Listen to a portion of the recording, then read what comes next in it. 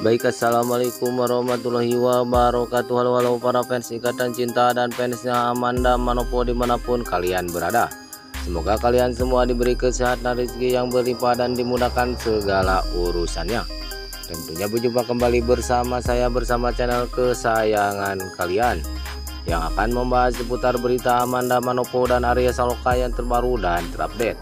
Kabar hari ini Berjolak hati Amanda Manopo diperingatkan ahli tarot. Tuntutan orang tua dan karir juga diungkit. Penasaran seperti apa? Yuk simak videonya sampai selesai. Oke guys, tapi sebelum lanjut ke dalam pembahasan, alangkah baiknya kalian semua tekan dulu tombol subscribe dan jangan lupa nyalakan lonceng notifikasinya.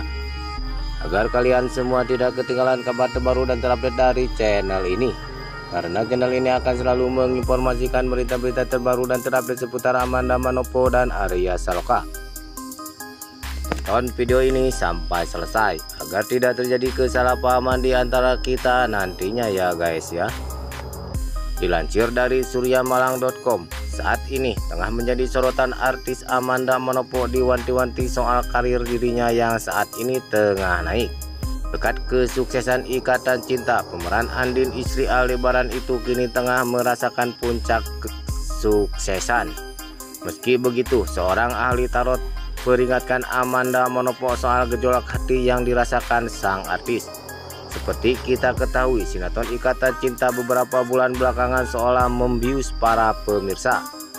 Siapa menyangka kolaborasi Arya Soloka dan Amanda Manopo sukses membuat sinetron tersebut meraup rating tinggi dalam waktu singkat. Kesuksesan Ikatan Cinta ini turut melambungkan pamor kedua pesinetron tersebut khususnya Amanda Manopo. Ahli tarot Madam Sicilia membaca gejolak hati yang dirasakan oleh Amanda. Ya, sampai dibuat merinding saat akan membacakan apa yang ia lihat dari kartu yang diambil.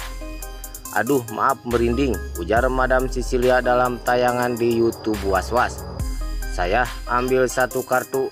Ini ada gejolak hati yang sangat mendalam sehingga anak ini semacam menahan isi hati yang bergejolak. Tetapi dia ada menahan rasa-rasa yang nampaknya harus diungkapkan. Ada gejolak yang ia rasakan dan dia harus tahan. Terang Madam Sicilia Madam Cecilia pun menyinggung soal kemesraan Amanda Manopo dan Arya Soloka yang sempat ditunjukkan. Selama ini saya melihat dia terlalu vulgar menampilkan kemesraan-kemesraan dan sedangkan harus ditahan ujarnya. Selain gejolak itu datang dari kedua belah pihak, keluarga pun disebut ikut andil mempengaruhi asmara mereka. Salah satunya adalah tuntutan orang tua untuk menahan tampilan-tampilan yang tampaknya mengundang kecaman ujar Madam Sicilia. Madam Cecilia juga menyebut jika keduanya kini tengah dilanda perasaan galau. Pastinya sangat galau terang Madam Cecilia. Menurut apa yang dibaca hubungan Arya Soloka dan Amanda Manopo sebenarnya tinggal selangkah lagi.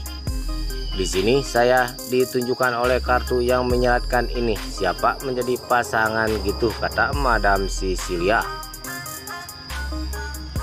Meski diprediksi sudah siap untuk menikah, namun bukan tidak mungkin keduanya memiliki masalah intern. Oke guys, mungkin itu saja artikel yang bisa saya sampaikan. Saya pamit undur diri. Wassalamualaikum warahmatullahi wabarakatuh.